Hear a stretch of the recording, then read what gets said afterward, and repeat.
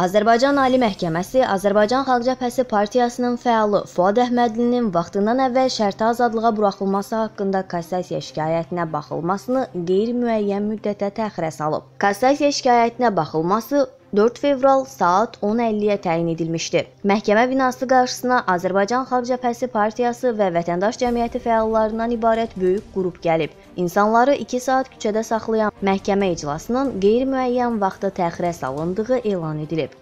Fəalın atası Zəfər Əhmədov bu addımı insan hüquqlarının pozulması kimi qiymətləndirib. O qeyd edib ki, şikayətə baxılması iyuldan etibarən gecikdirilib və aydındır ki, bir neçə aylıq təxirə salınır. Bu ilin avqustunda fəalın azadlıqdan məhrum etmə müddəti başa çatır. 31 saylı Suraxanı 2-ci seçki dairəsindən deputatlığa namizəd Mehman Hüseynovun həmin dairənin digər namizədi Fərəc Quliyevlə bağlı şikayəti Mərkəzi Seçki Komissiyasına daxil olub. Bu barədə komissiyadan bildirilib. Qanunvericiliyə uyğun qaydada müraciətə baxılacaq deyə Mərkəz Seçki Komissiyasından əlavə olunub.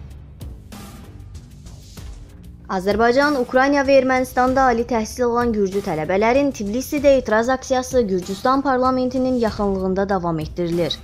Gənclər Gürcüstan ali məktəblərinə köçürülmək üçün sabaha təyin olunan test imtahanının ləğvi ilə bağlı Təhsil naziri Mixail Çxenkeli ilə görüş tələb edirlər.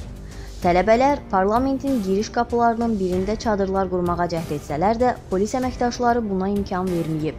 İmtahanla bağlı Gürcüstan vətəndaşı olan 350 tələbə etiraz edir.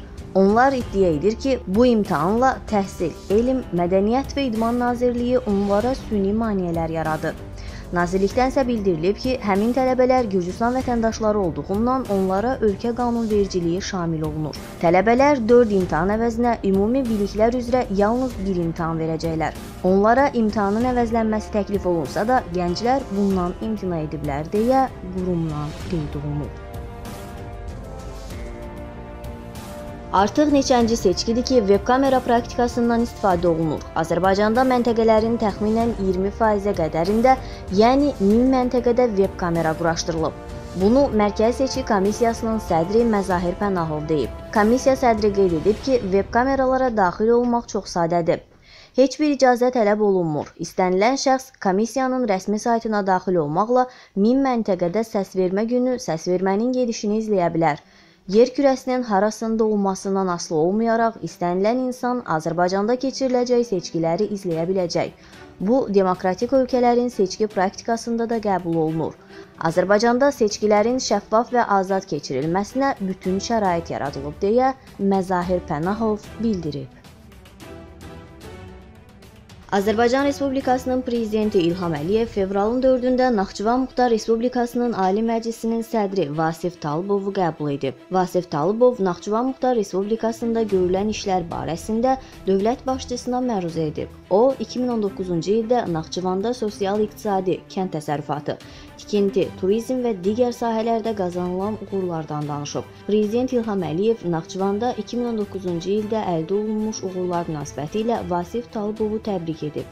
Dövlət başçısı Naxçıvan Muxtar Respublikasının inkişafı və təhlükəsizliyi məsələlərinin daim onun diqqət mərkəzində olduğunu, prezidentlik dövründə 14 dəfə Naxçıvana səfər etməsini bu diqqətinin təzahürü kimi dəyərləndirib. Bu ilin yanvar ayında Azərbaycan Respublikası prezidentinin sərəncamı ilə Vasif Talıbov 60 illik yubiley münasibəti ilə şərəf ordeni ilə təltif edilib.